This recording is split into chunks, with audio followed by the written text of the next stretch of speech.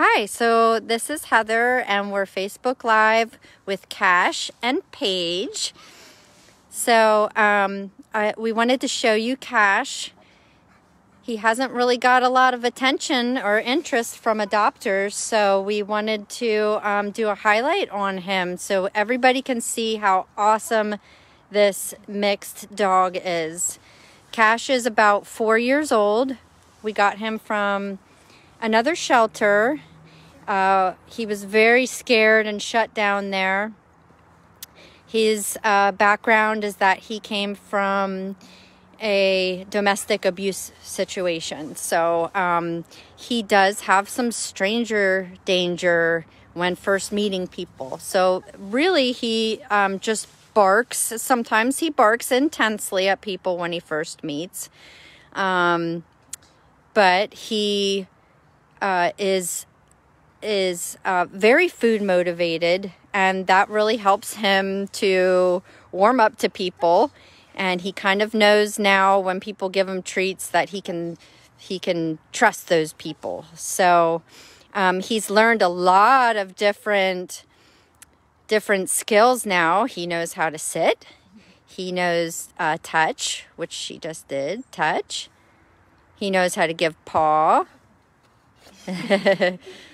and um, he knows. We'll see if uh, we can keep the signal here over over at our tricks tricks area. He can do tricks. Now, one thing I'm going to tell you first about Cash is that he does have some hip dysplasia and elbow dysplasia.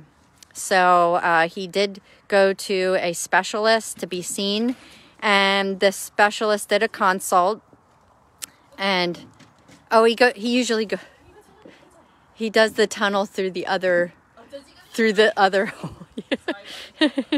Um he will he will do it. He just sometimes lacks focus too. He's like what do you want me to do? What do you want me to do? I'll do anything. I'm not sure what you want me to do.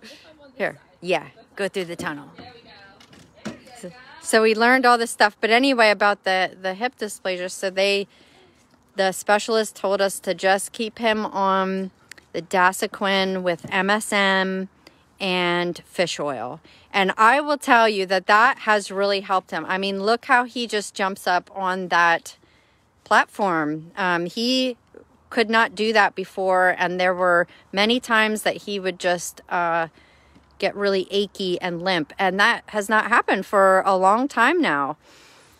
So he is just such a happy, sweet boy. He loves to train, he loves to learn.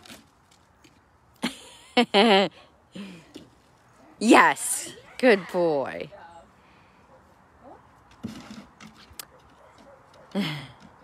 Oh, he knows how to jump on the chair too.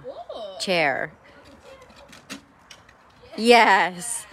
So, um, yesterday we were working with him in the car, and he's not quite jumping in the car himself yet, but I did help him in, and we went for a little ride, and he did well. So, um, I just wanted to show you this really cute boy. He's so cute and sweet, and um, if you are looking for for a dog uh, to rescue a very deserving dog. Cash may be one that you can put on your list.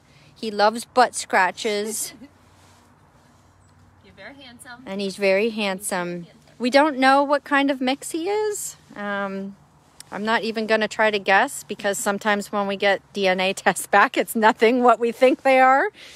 So, but he he does have a very sweet personality once he warms up to you. So he does walk great on leash. And I'm trying to think anything else I can tell you about him.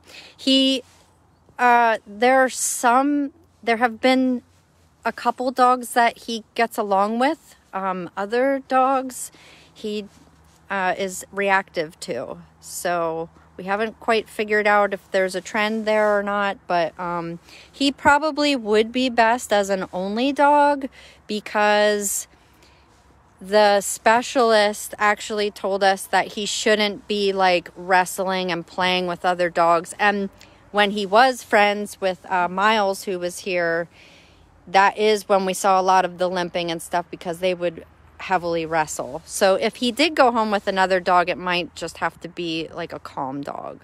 So, so anyway, that's Cash, and thank you, Paige. and um, if you're interested in him, you can reach out to Zach at zach at dvgrr.org. Okay, thanks a lot. Bye.